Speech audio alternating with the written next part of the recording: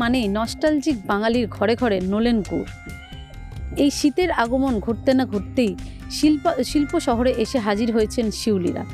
শিউলিরা কীভাবে সকাল থেকে কঠোর পরিশ্রম করে খেজুর গাছ থেকে সেই রস সংগ্রহ করেন এবং সেই রস জাল দিয়ে গুড় প্রস্তুত করেন, তাদের যে কঠোর জীবনযাত্রা, সেই জীবনযাত্রাই তুলে ধরবো এই সময় ডিজিটালের পর্দায়।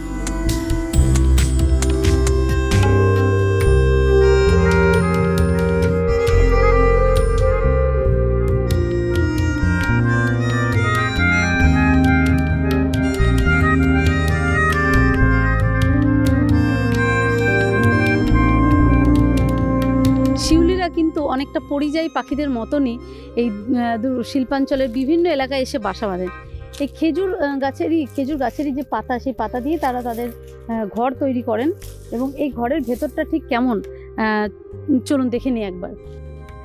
এই সেই তাদের বাসস্থান, অর্থাৎ তাদের বাসা বলা চলে। এখানেই তাদের রাত্রি যাপন থেকে শুরু করে তাদের সারা দিনের যে কর্মকাণ্ড সব কিন্তু এই ঘরে থেকেই তারা করেন এবং এখানে দেখতেই পাচ্ছেন তাদের ব্যবহারের কিছু বাসনপত্র রয়েছে।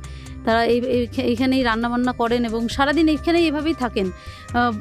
যার জন্য বললাম যে অনেকটা পরিযায়ী পাখিদের মতনই তাদের কিন্তু জীবনযাত্রা বলা চলে।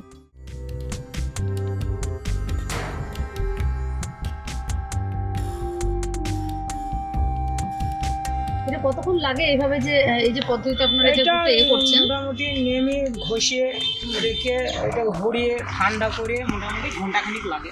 ও ঘণ্টা তারপরে এই যে পাটালি গুড়টা যে দেবেন দিয়ে তারপরে বসতে কতক্ষণ সময় লাগবে এটা? বসতে আধা ঘণ্টা আধা ঘণ্টার মধ্যে পাটালি গুড় তৈরি হয়ে যাবে। তৈরি হয়ে যাবে। এই জিনিসটা তো আপনাদের দেশে নেই। হ্যাঁ। তা আপনার স্যান্ডেল পাবে কোথায়? হয়তো আমরা বাড়ি থেকে আসি। করছেন একটু দেখি হ্যাঁ। বুঝলো? হয়তো আপনারা একটু বাইরে থেকে আসেন, আসি বলে আপনারা এটা দেখতে পারেন।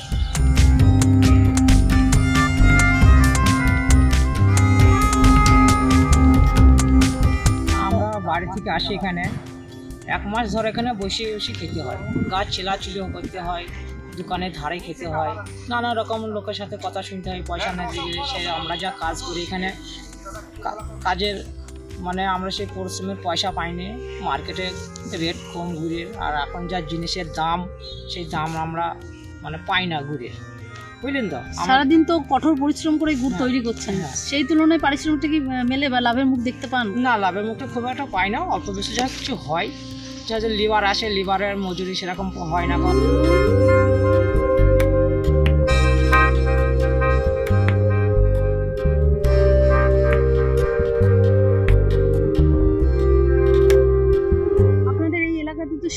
বছরই আসেন কি রকম তাদের জীবনযাত্রার কি দেখেন? জীবনযাত্রা ওরা তো প্রথমে এসে এটা এক মাস ওদের কোনো তো কর্মই থাকে না গাছ কামাতে থাকে তারপরে জ্বালানি কাটতে থাকে এক মাস পুরো বসে পায় তারা মহাজনের কাছ থেকে টাকা দাদন নিয়ে আসেন দাদন নিয়ে এসে তারা খাওয়া দাওয়ার ব্যবস্থা করেন তারপরে আস্তে আস্তে একটা গাছ কামাতে থাকেন দুবার চারবার করে রস হয় সেই রসটা ওরা মার্কেটে বিক্রি করে আসে সেখান থেকে টাকা ইয়ে যায় কিনে হয়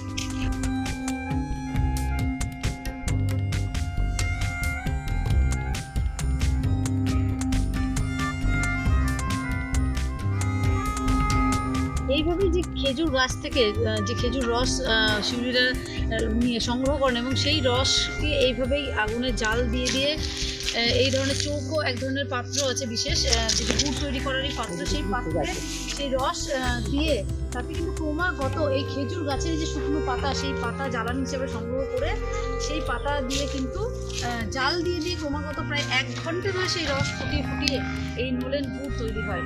যে নোলেন গুড় গুড়ের অপেক্ষায় আমরা সারা বছর সারা বছর অপেক্ষা করে থাকি, শীতকাল এলেই নোলেন গুড়ের স্বাদ নেব।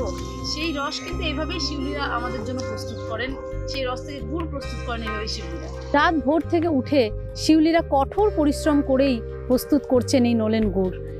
দ্রব্যমূল্য বৃদ্ধির বাজারে সব জিনিসের দাম বাড়লেও এই নলেন গুড়ের দাম কিন্তু একেবারেই বাড়েনি বলে দাবি শিউলিদের। প্রায় পঞ্চাশ থেকে একশো টাকা মূল্যের মধ্যেই এখনও রয়েছে এই গুড়ের দাম।